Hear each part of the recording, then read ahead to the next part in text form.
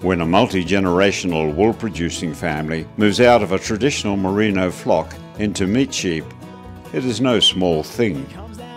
The Paterson family has run a wool production operation across generations. Today, the family still runs a sheep operation over four holdings covering 75,000 acres south of Longreach.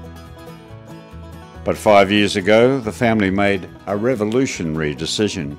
We had a bad drought. We had a very big wild dog problem killing our sheep, so we put up a boundary fence, a feral proof boundary fence around our property. When the drought broke, we had to make a decision of how to continue with frequent droughts, and we suddenly were considering the option of running the meat sheep lambs on our property, and then we did some investigation and we decided because we have so much timber here, gidgee trees, etc., that to be able to utilise the timber as browse. So change came to the Paterson family operation.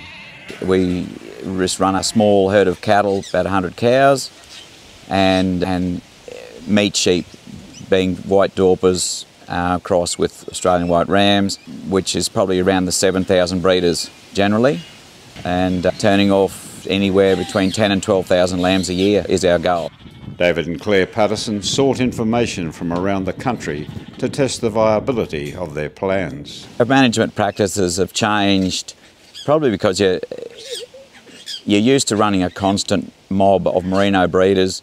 You get one lamb a year, so you can gauge your numbers on, on getting 80, 85% of lambing in a merino flock. With these sheep, we still get caught out now and then when the other day we marked 108% from a mob of ewes um, and suddenly you've doubled your, your number of sheep in a, in a paddock and it all happens pretty quickly. So we are having to run less ewes per acre in general to not degenerate any country and run into difficulties with that. The change we've noticed with the grazing pressure is that you see that they do eat a fair bit of browse. So they're not hammering the grass the way we thought they would.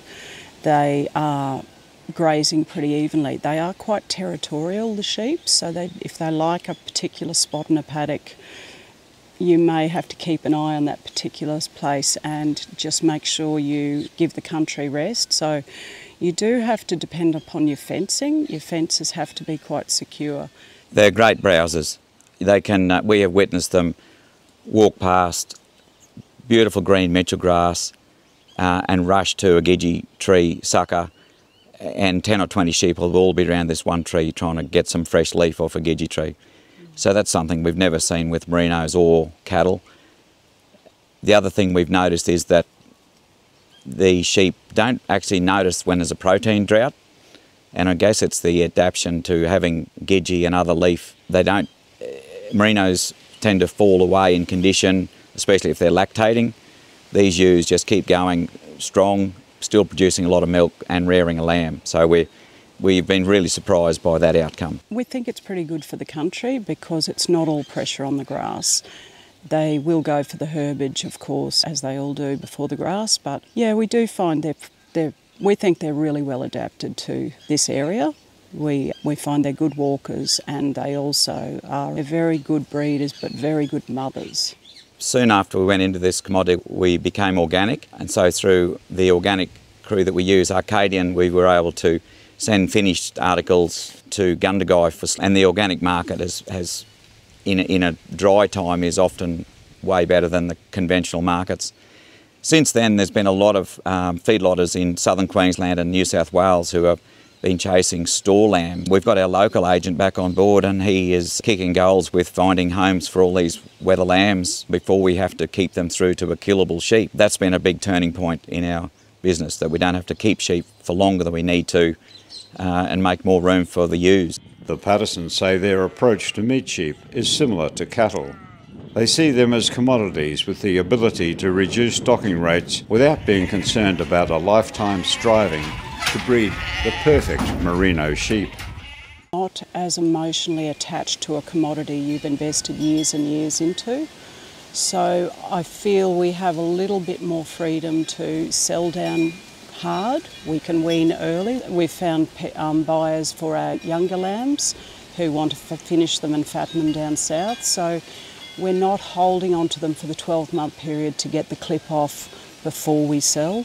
We have a little bit more freedom in the sales and the movement on and off the property. While the infrastructure for a wool operation is no longer needed, the Patersons have had to face some cost in responsibly setting up. An exclusion fence was constructed around the properties to protect neighbouring merinos from wool contamination. And the size of the meat sheep means that handling equipment is required. We've had to help ourselves a little with, with a sheep lifting machine that allows us to lift sheep for revaccination and, and all our lambs for lamb marking up to waist height where we can easily then roll them into a lamb marking cradle to mark. We bought an automatic weighing drafting system that will draft sheep three ways on preset weight divisions and an eight metre loading ramp that's portable so as we can, because we're loading so many sheep out, then we needed to upgrade our loading system and it, it can go from place to place. We think they're a better fit for a long-term enterprise. Absolutely, no, no regrets in changing code. The labour required is, is different. We don't need shearers and crutches and mulesing but we do need labour when it comes to lamb marking, of course, because they're very strong animals. We have a cash flow coming in three and four times a year instead of one wool clip per year, so that's a bonus. You can budget better to where you're headed for, and yeah, we have no regrets at all. David and Clare Paterson were brave enough to embrace change. The result is a profitable and sustainable livestock enterprise with improved environmental sustainability.